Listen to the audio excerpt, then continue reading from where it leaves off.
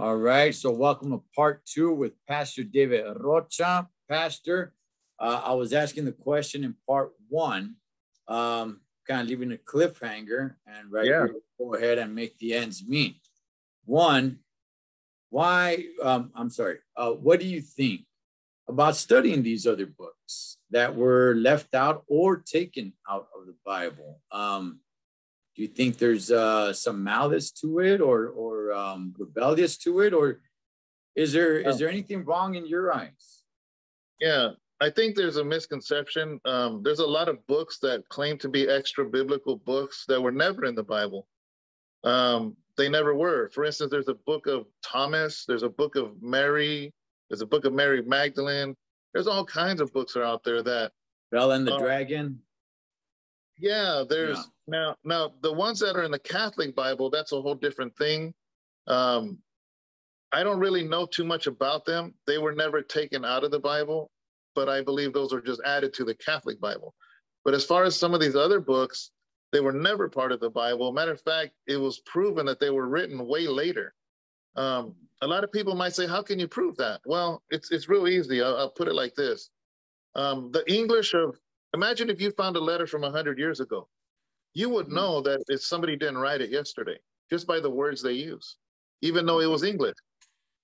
Let's go back 400 years ago. If you found a letter in English, it would sound like a King James Bible, there's and therefores and thous and you know, Right. why is thou watching Netflix? You know what I mean? Like we we would know if somebody said, "Hey, this letter was written yesterday in Long Beach."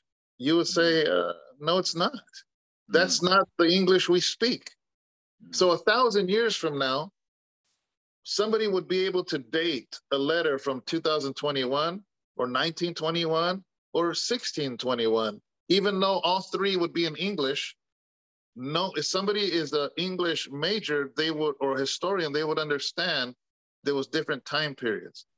I say that to say that a lot of these letters that claim to be from the Bible or claim to be from the Apostle Thomas or Mary, the mother of Jesus, um, even because they're in Greek, people, us, us dummies that don't know Greek would know the Mhm. difference. But a Greek historian would say this was not written in the time of Jesus. The Greek words they use are more contemporary or or vice versa. So they can date letters by the Greek words they use.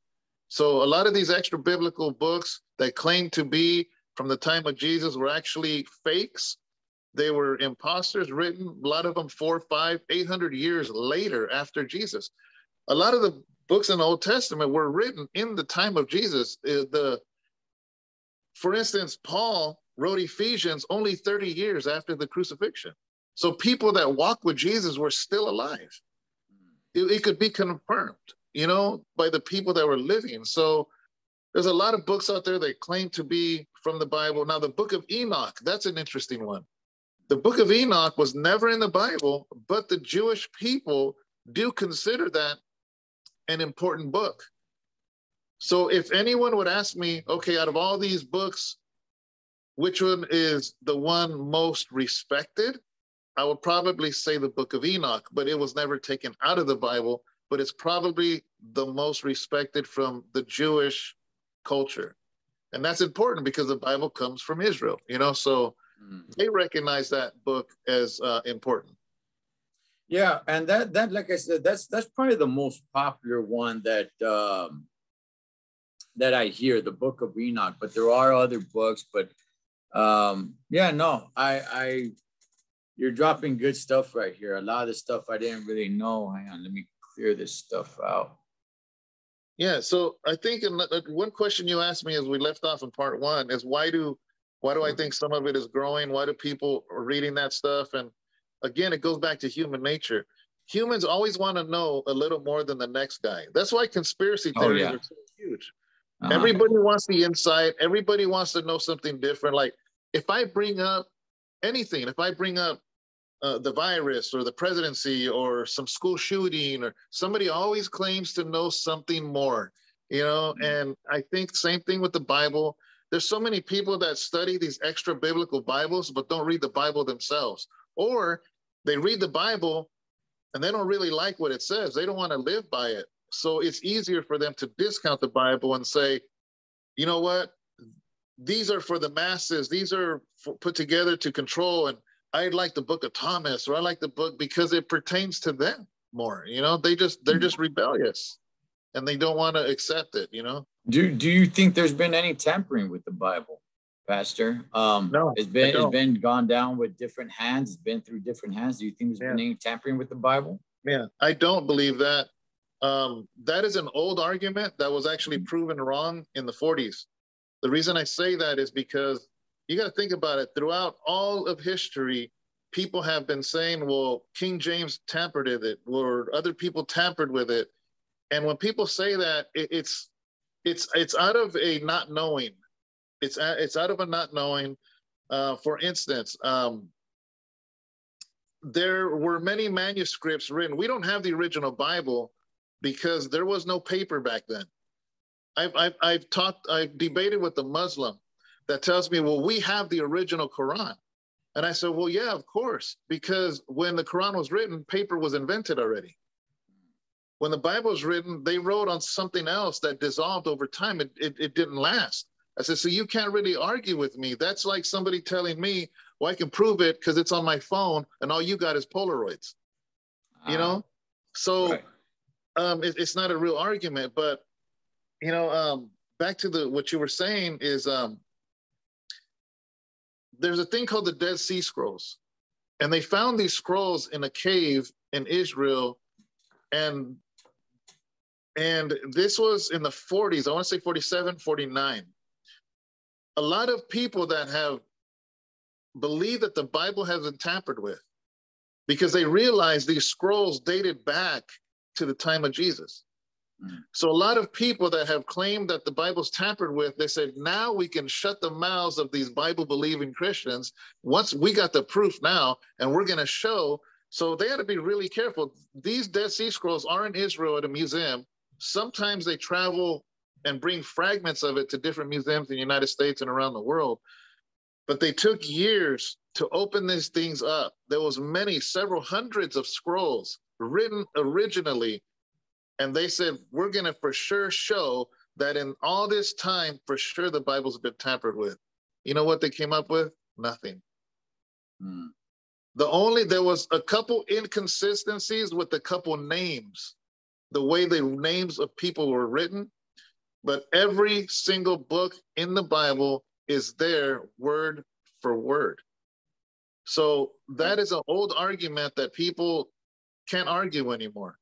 You know, another thing is, um, for instance, if I uh, remember how we were talking earlier in part one that the Bible was in Hebrew, Greek, and Aramaic. Okay. So let's say you wrote a book and you called it Cholo Trucker, right? and uh, and you passed it out. You passed it to somebody in Spain, somebody in Nigeria, somebody in Japan, somebody in Russia, somebody in Switzerland, somebody in Australia, and you said, "Listen, make this in your language and make as many copies as possible." So then, let's say um, the one in Russia, one had his own agenda and wanted to change your letter. So, but he doesn't realize or does maybe there's 300 of your letters all over the world. So the russian decides to change it up so he can manipulate the people in russia. Well that would very quickly um, be found out especially in our time now. Right. Because yes. you would say wait a second. We got 300 other languages that all match but the russian one is off. So if somebody changed the bible somewhere along the time in history there's thousands of manuscripts out there that would disprove that one. What's interesting is there are over 33,000 manuscripts that are, like I said, the original Bible isn't there because paper wasn't invented. Mm-hmm. But there's like 33,000 manuscripts found in different languages, different continents, in different cities, and they all match. So to change the Bible would be impossible because you'd have to change every manuscript. And, and that's just an impossibility. Got you. Okay. Pastor, um, why church on Sundays? Um, my understanding it should have been Sabbath. which is uh, Saturdays. Now, Yeah.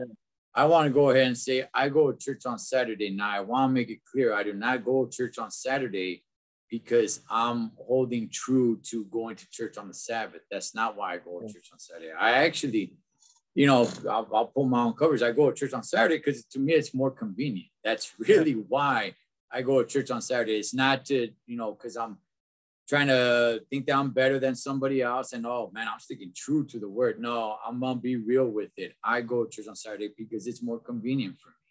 Yeah. Um, why, why, why church on Sunday? Now, I'll go ahead and throw out there what I heard.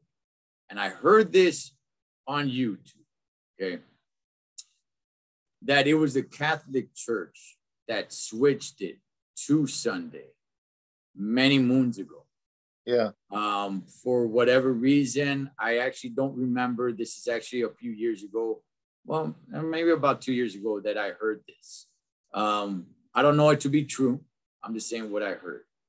But why why church on on Sunday if it uh, apparently is supposed to be the Sabbath? Yeah, from from obviously um this is not something I studied extensively, but I, I will share with what I think is I think that again, I be- I do know that it's a half truth when you say the Roman Catholic Church started church on Sunday. It is a truth, but it goes deeper than that. The Catholic Church has our modern day calendar is the Gregorian calendar. Sunday, Monday, Tuesday, Wednesday, Thursday, you know, seven day week split into you know January, February. That is a Catholic. Um, they came up with the calendar that we still go by. So it's not like they made that calendar up in order so you can go to church on Sunday. It's just the way they did the calendar. Um, they did the seventh day, which is a Sunday, as a day of rest. You know, so that's that's why they did that. Now, when people say we should go to church on the Sabbath. Um, what is the Sabbath? Because I, uh, um, here's the thing: a lot of people don't know is that the Jewish calendar to this day doesn't match our calendar. Okay. The Jewish Sabbath is not necessarily our Saturday. Mhm. Their days are different. Their years are different. You realize that the Jewish reject our calendar because our calendar says it's been 2021 years since Christ. Israel don't believe in Christ. Right. So they're not going to go by that calendar. You know, so their calendar, their days, their months are completely different than ours. So for us to say, um, eh, you know, we need to have service on on Saturday, it, it doesn't match to the original Sabbath of the of the Jewish, and they're the ones that started the Sabbath. Well, God, you know, started the Sabbath with them. That's one thing. Is that we got to be really careful because the calendars don't match. Another thing is Sunday is no more holy than any day. I'll, I'll have service, and in prison we had service every day. So I don't hold to the truth that Sunday is supposed to be for church. Um, I think that we have fell into um, traditionally. That's the day most people have off of work. Why? Because of the Gregorian calendar you know and it's like it's what would what would i prove by saying you know what i reject having church on sunday i'm going to do it on mondays i'm going to do it on monday at 10 o'clock in the morning well guess what most people are at work Right. you know so um, i don't adhere that sunday is any more special than any other day it's it's just a day most people are able to come i don't consider sunday to be any holier than any other day i do believe that there's a lot of paganism involved because when the Roman Catholic Church, when Rome took over the Catholic Church, I do want to separate that because Catholic just means universal. That's all mm-hmm. it means. You know, so when when Christianity began to grow and grow and grow, it was called the universal church, which in that language was Catholic.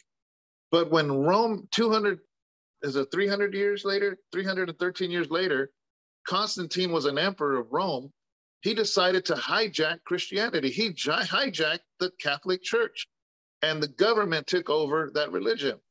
And the government, you know, was having issues because they had pagans on one side and Christians on the other. So he he was going to lose his emperorship.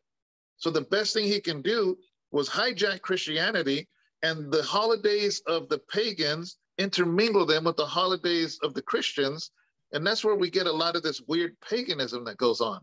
You know, our days of the of the week are named after pagan gods. Sunday is a worship to worship the sun. So they took a little bit of Christianity, but gave enough to the pagans to make them happy.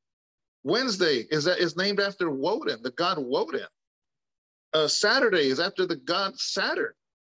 Our um, our months, uh, uh, August is to venerate the Augustus. You know what I mean? So it, it, there's so much paganism in our everyday world. Our calendar, our money, our money has a pyramid with the all-seeing eye on it. And it says, in all God we trust. So which God are they trusting in? You know, we wear Nike shoes. Nike is a Greek god. We drink Starbucks with the Greek goddess on it. So paganism is intermingled in everything, you know. So I, I say I'm not getting away from the question, but you know, I know some people are saying we shouldn't have church on Sunday, so we should have it on Saturday. So instead of the sun god, we're worshiping the Saturn god. You know what I mean? So it's like to me, I don't no no day is holy. I have church on Sunday only because people are not working for the most part, but I'll have church every day. Right. Yeah, yeah, yeah. And and that's that's kind of the the best argument that I have heard is like, hey, you know what? You could worship any day. Do you believe in a day of rest, Pastor? Um, the Bible talks about a day of rest. I find it interesting that for me, the Bible is everything, you know, completeness, the the the in the beginning in Adam and Eve, he said the seventh day, this is the day of rest. Mm. You know, um, obviously God don't need a rest. So he did that as an example for us that we need to rest mm. because he made us. He knows what we're like, you know. And what regardless, you know, I have some people that don't come to church because they work through the weekend, but their day off is Tuesday and Wednesday. Mm. That's their day of rest because God knows that we get tired, we get wore out, you know what I mean? So, but also I think in the bigger picture, um, Jesus coming is the rest. We rest in him. So it's not just a certain day, it's all day, 24 7, that I rest in Christ because he completed the work. He completed creation in seven days. He created, he, he and, and he completed salvation on the cross. So you and I can rest in him. Yeah. Um, I mean, I, I don't, I don't mind, you know, if people want to take a day of rest. I, I, you know, like you said, as humans, we do get tired and on uh, yeah. when, uh, life is really getting you moving, a day of rest sounds good. It's the issue that I have when people, all people want to do is just rest and not get up and get moving. That that's when I that's when I I'm, yeah. I'm like, oh man, look at this, man. They're they're yeah. taking this to another level. But Pastor, you're saying something a little earlier, um, and you brought up uh, holidays as well. Yeah. Um, let's talk about holidays. Okay. Christmas. Easter, yeah. birthdays, all these things. There's some people that think that none of these things should be celebrated. Um, maybe some of them, maybe none of them. Um, yeah. I guess we'll we'll we'll go with uh, with Christmas. You know, it's it's kind of a universal holiday. Um, very little people say Merry Christmas anymore. It's more just Happy Holidays. Yeah. Um, where do you stand with uh, Christmas? Me and myself, I'm a big Christmas freak. Uh, I love the Christmas season. I love, you know, just Christmas time. It's just a, it, to me, it's, when they say it's the most wonderful time of the year, for me, it really truly is. You know, I'm that yeah. Clark Griswold guy that uh, just loves. I just love the feeling and the season of just Christmas. But let, us start with, with with that, Pastor. Where do you stand on uh, on Christmas? I mean, I, I love Christmas. Christmas has always represented family to me. You mm-hmm. know, I mean, as a kid, I have great memories of gifts. As an adult, I have great memories of giving my children gifts and, and just seeing them, their little faces light up. You know, um, it's it's a time to to uh, let people know about Jesus. I don't believe Jesus was born on the 25th. Um, it's highly unlikely he was. Um, but again, you know, he was born and mm-hmm. I think it's a time that where the whole world recognizes that, you know, um, it it'd be nice, man, to know that after I die, a hundred years after me, maybe they don't forget my family. You know, my grandkids and great grandkids don't remember the day I was born, but it'd be nice to be remembered. You know, to say, you know what, Grandpa, Grandpa David, you know, we don't remember his birthday, but you know what, he was a great man. You know, and let's all get together on on June fifth. You know, and I think that's a beautiful thing. You know, it's a beautiful thing for the world to to honor Jesus, um, regardless of when he was born. You know, um, do I will I argue with people about holidays? No, I'm not because it's not biblical. You know, he doesn't say to celebrate Easter or Christmas or anything like that. The only thing he does say to do is communion. Do this in remembrance of me. You know, but other than that, um, it's it's traditional. You know, now Jesus talks against tradition, but here's the thing people don't get is he's talking about traditions that hinder you from coming to God. You know, I don't see a hindrance in getting together and exchanging gifts or having some tamales or whatever with your family. I think that's a beautiful thing. It creates memories. You mm-hmm. know, I don't think there's nothing wrong with traditions as long as it doesn't get in the way of God. For instance, when I was raising my son, every Monday he knew that at Wingstop, wings are 50% off. So every Monday he'd get off of school and he'd be like, Dad, it's Monday. And that became our little tradition. Right. Nothing wrong with that. Nothing wrong with it, man. I look back now. Now he's he's 20 years old, and I look back and his little face and how happy he would get when I picked him up from school because he knew it was wing day, you know. And mm-hmm. that became it was just me and him, our tradition that didn't get in the way for me and God. That was a beautiful moment that I had to build with my son. I see Christmas in the same way. There's beautiful traditions that we have. When Jesus speaks against traditions, he's not talking about those beautiful moments. He's talking about those traditions that are a hindrance to God. I don't see Christmas as a hindrance unless you're leaving Jesus out of it, unless you're make it all about Santa or whatever. I mean, I get little kids, I get it you know, and and even then people have brought me the argument of Santa. I'm like, you do know Saint Nick was a, a real person, right? You do know he was a man that in his town he really did give gifts. Yeah, later on the Coke company put him in a red suit to match their Coke their Coke thing, but there really was a man that loved to make gifts. And he saw the impoverished in his town and he would make little gifts in his shop and give them out. What's wrong with that? Right. You know, the right. real Saint Nick was a believer of Jesus. Mm-hmm. He's a real historical person. So even then, I'm just like, I don't mind Santa either. Just put him in his place that he kneels to Jesus too. You know?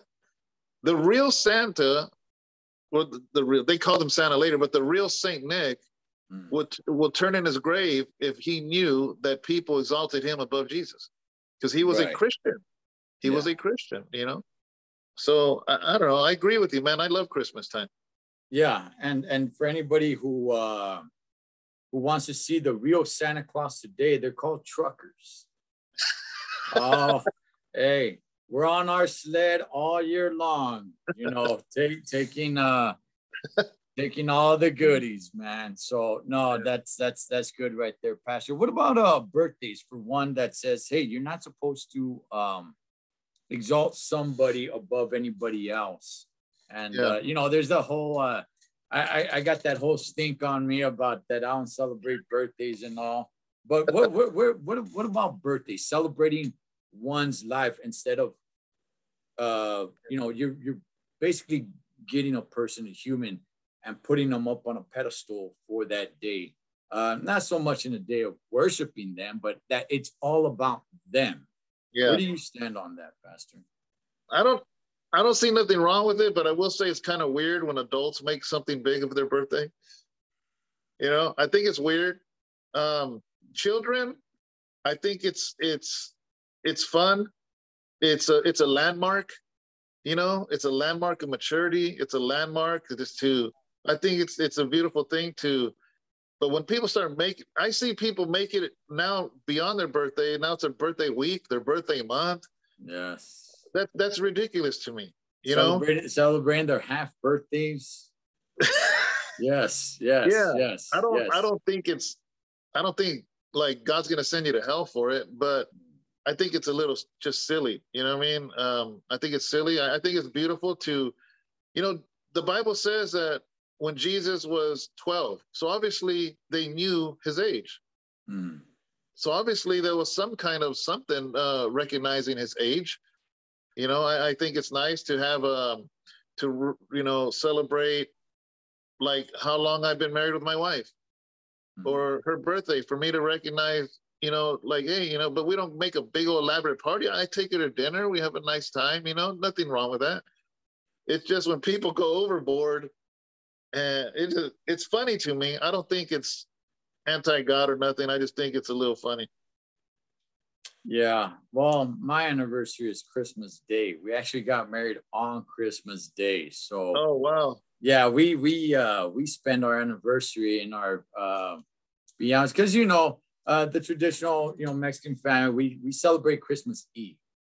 Yeah. Um and Christmas Day is actually our anniversary, and we just spend it eating all the leftovers, all the leftover pozole, tamales in our pajamas, just watching Christmas movies. Yeah. That's it. There's, there, there couldn't be anything better. So, National um, Lampoon's Christmas Vacation. Oh, I love that movie. That's a that's always a classic. That's always a classic. Home Alone. Yeah. Oh, you know what? That's that's her favorite uh Christmas movie. Yeah. Uh Home Alone is actually her her favorite Christmas movie. I laugh every time. I know what's gonna happen, and I still laugh. You know what, Pastor? That that is just like her. That is just like her. You know, she loves the movie Tommy Boy. I don't know how many times she's watched it. Yeah.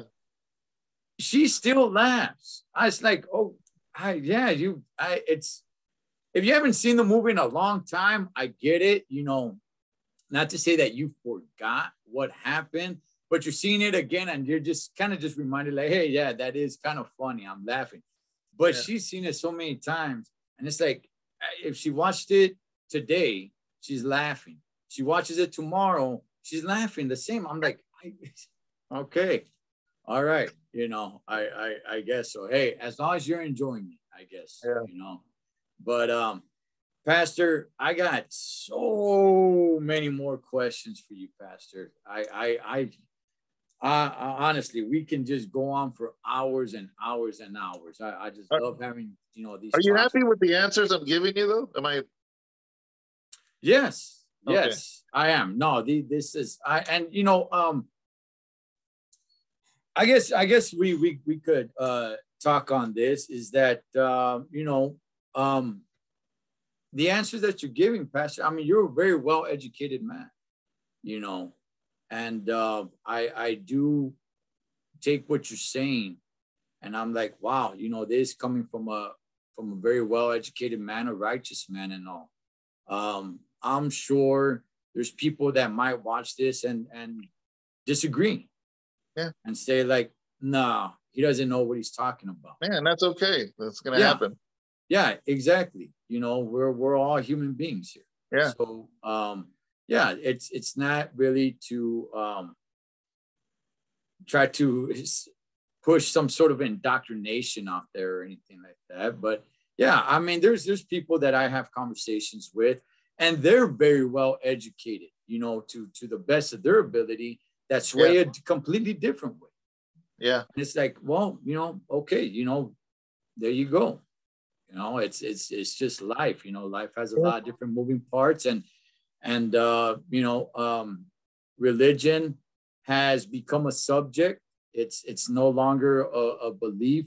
It's now up for debate. It's up for all this kind of stuff where it's like, I I I don't know. I don't I don't like to look at it that way. And and um, I don't I don't really like to say that I'm religious uh, because again, it's now looked at as a subject. It's now Yeah. Looked at as oh, it's up for debate. Well, it's not up for debate. It's it's a belief. It's Yeah. it's a relationship with God. It's not uh, something that's you know debatable. You can definitely have a conversation, but it's it's faith based. Um, that's my thoughts, my beliefs in it. Yeah. So when it's like, hey, come on, let's uh let's talk about is there a real God? I can't, I can't, I can't physically, you know, get something and say, here, see, touch this. That means God is, yeah. it's, it's real. It's it's a belief. It's a faith. It's faith. It's belief to to it. There's no. I can go ahead and and um, go ahead and kind of give you examples, but then maybe you might have some sort of uh, scientific examples to to kind of say like, well, this is happening because of that, yeah. you know, or this or that or what have you, and and picking up the Bible and reading it just like any other book is somebody that's telling you something in, in, in course of history. So how can you really debate it when there's really nothing that's actual tangible to say you know um, i'm just trying to grab something here to just kind of show you hey what time it is and that is a true fact. Yeah, yeah. um that that's not there. It's it's it's, it's faith based so um you know that's just my kind of thoughts on it pastor um, yeah. I don't know if you want to add anything to that. You know what? I remember um, when I was in Terminal Island, I had a a crip, a Jewish guy, and a Jehovah Witness mm-hmm. in our little section there. Interesting conversations, and uh, ultimately, uh, no, did I say it? No, not Jehovah Witness, a Muslim. Okay. And uh, we have great conversations very respectful. In prison man you can't be arguing stuff you know you you got to be very respectful and that way you'll get respect back. Right. And um, even though we differed in our beliefs. And uh, i remember talking to the muslim guy real nice guy man really nice guy. And uh, we would bust spreads together and whatnot. And one day we were talking about this. And he says you know i don't i don't I don't believe in Christianity. I believe in Islam. And I said, Well, I believe the opposite of you. And he started talking. He's the one that said, Well, they don't even have the original Bible. And that's that's why I told him that. I said, Well, that's not fair because paper was invented when Muhammad wrote the Quran. You know, and we went back and forth. And I said, you know, you know, listen, I don't want to debate. I don't want to ever argue with you. I said, I like you as a person. You're you're always very respectful. You're very clean in your area, you know, and that's a that's a big deal in prison because it was a, a dorm living. And I told them, can we say this? Neither of us were there when the Quran or the Bible were written. Can we both agree to that? He's like, yeah, I can agree to that. I said, so we can argue to we're black and blue, but we can't prove nothing. Right. And he goes, okay, I, I, see what you're, I, I, agree with you. I said, but mm-hmm. I said, how has your life changed? Because I will tell you how my life has changed. I said, that I can't speak on. I can't speak on the fact that I was a gang member, a drug dealer, uh, all of it. And I surrendered my life to the Lord and He changed me like that. I said, that nobody can argue with me. I'm not, I'm not trying to be a Christian. It's not a facade. It's not me trying to act a certain way, but deep down I'm wicked and I'm still thinking and feeling this way. I said, God did something to my heart. He changed me. I said, I had hate for Southsiders. I said, and now I don't feel hate. Matter of fact, I, I don't feel nothing. I, I feel nothing but wanting to reach them for the Lord. I, I, I said, how long have you seen me here in Terminal Island? You see me talk to Southsiders. I said, I, I'll, I'll give them a soup if they need a soup, and they'll give me a soup if I need a soup, and back and forth. I said, because God healed me of that. I said, that I can tell you factually, I might not have been there when the Bible was written, but I can tell you right now today what Jesus did for me. And he can do it for you too, I told him. And he just stayed real quiet because he would pray like four times or five times or six times a day and things like that. And I said, you know, I said, man, I respect that. I respect that. I said, because most Christians won't even pray once a day. You know, I said, I respect yeah. that. I yeah. said, but but has your heart changed? Has God spoken to you? And he's like, you know what? I'll be honest with you, no. I said, well, you can just, you know, leave that right there. Let that soak in your mind. I said, because God has brought a change in my life. I said, to me, that's the proof that I needed. And that's yeah, yeah. man, Pastor, and man, I definitely want to get into a lot of this stuff with you, and even in my life, you know, because uh, my life is uh, I, I I I look at it and there's so many things that I've heard you say in the daily devotionals as well. And I'm like, wow, you know what? He's speaking to me right now. and there's so much, Pastor. There's so much. I mean, man, we just scratched the surface in these just two parts, but definitely, Pastor, I want to bring you back on and have way more conversations of, of, so many different things, Pastor. It's always a pleasure talking to you and and and uh, watching you and sharing on the daily devotional. So, uh, anything else, Pastor, before we get out of here? There you go.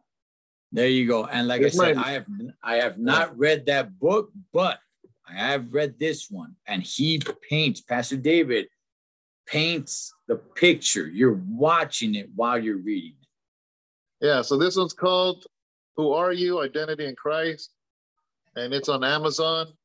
And I always forget to, to say this when I talk with people is I make my living by painting. You knew that, right? Yeah, you're a painter, yes. Yeah, I paint I paint landscapes and I do have an Instagram. I always forget to even mention it. But it's called David Rocha Art. My name and the word art. And you can see all the artwork. I, I was uh, I used to be in two galleries. Now I'm on one um, because the other one was way up in the foothills. They're having issues. There's no tourism going on because of COVID and all that. So I took all my art out. But I do have a section in the church where it's all my art and there's a gallery here in Stockton, but I'm shipping paintings all the time. So if there's something you see on David Rocha Art on Instagram, that would really bless us. I'm not on payroll at the church. I make my living with books and with paintings and things like that, you know. And um, so, you know, if there's somebody interested in some of the art I have, that would be a true blessing for my wife and I. Do you take uh, requests? I mean, if if I can if I contact you and I'm like, hey, can you paint me this or sometimes that? I sometimes I do. Okay. Okay. Yeah. All right. All right, Pastor. Uh, that it. Any last words, Pastor, to the people watching? Shouts to everybody in the chat that's, that's on there. But uh, we're yeah. definitely, I'm definitely gonna have Pastor David Rocha come back on here if I have to bribe him, force him, whatever it is. But uh, we'll definitely have you back on, Pastor. Like I said, it's always a pleasure having you on. It's always a pleasure to talk to you. Um, I, I'll go ahead and say this, Pastor. Um, one time, somebody asked me. They said, "Hey, who who's one of your role models? Who's somebody you look up to?" And I didn't have an answer because I I didn't know. But I will say you know, just in this recent time, I could name you. Wow. I could definitely name you. So, um, for whatever that's worth, Pastor, that's I worth a want, lot. I just want that's you worth- to know that. And um, shout outs to uh, Sharon as well. Give her my best, Pastor. And that's what we're going to go ahead. And that's what we're going to end it, familia, for now, because I'll definitely have them back on. As always, familia, live your life like you're on the road. Be aware of your surroundings and always keep safe distance. Blood makes you live. But loyalty makes you family. Until next time, this is Ed the Cholo Trucker for Pastor David Rocha. Over and out.